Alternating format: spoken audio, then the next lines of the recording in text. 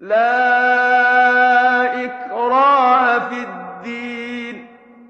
قَد تَّبَيَّنَ الرُّشْدُ مِنَ الْغَيِّ ۚ فَمَن يَكْفُرْ بِالطَّاغُوتِ وَيُؤْمِن بِاللَّهِ فَقَدِ اسْتَمْسَكَ بِالْعُرْوَةِ الْوُثْقَىٰ لَا انفِصَامَ لَهَا ۗ.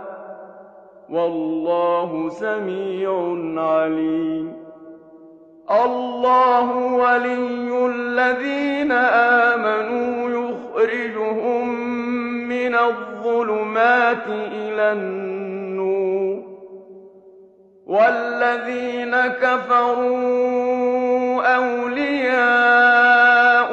الطاغوت يخرجونهم من النور.